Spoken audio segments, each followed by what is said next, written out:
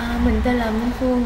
À, mình à, vừa làm hai hàm răng sứ ở à, nha khoa An Tâm. À, mình mình rất là hài lòng. À, à, mình biết đến nha khoa An Tâm là từ người quen do à, nha khoa An Tâm à, làm form à, rất đẹp nên mình chọn An Tâm. À, hoàn toàn bình thường. Chỉ có à, hơi sợ thôi hơi run thôi chứ được chứ không có đâu. À, có bạn nào chưa à, chưa tự tin về hàm răng của mình hoặc là uh, có dự định làm răng sứ. Uh, thì uh, các bạn nên đến nhà khoa an tâm uh, vì mình uh, đã trải nghiệm và và thấy rất là ok.